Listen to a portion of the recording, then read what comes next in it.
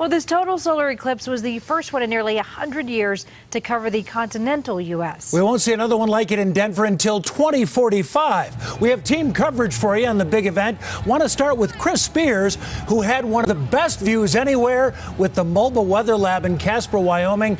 So, Chris, what was totality like? Oh, Jim, that's a tough question. It's hard to find one word. It triggered a lot of emotions, and that was what I was told uh, would happen as we saw the eclipse. And in fact, those emotions even begin before you get into totality. The anticipation was off the chart.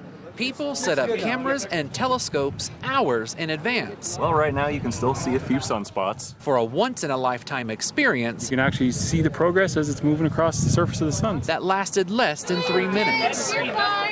Watching day turn to night and feeling the temperature drop, the moon's shadow covered the sun, causing an amazing display of light.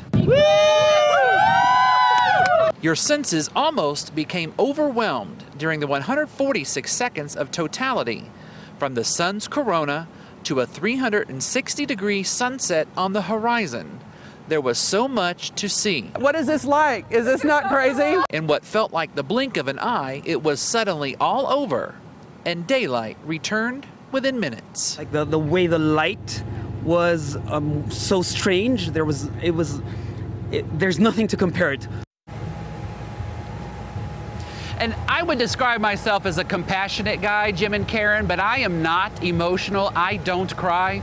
And during that live Facebook, when we started the totality, I was this close to losing it. In fact, my voice cracked. It is an incredible experience. You must put this on your bucket list and see one in your lifetime. 2045. We've already marked it down. Chris, thanks so much, my friend. Well,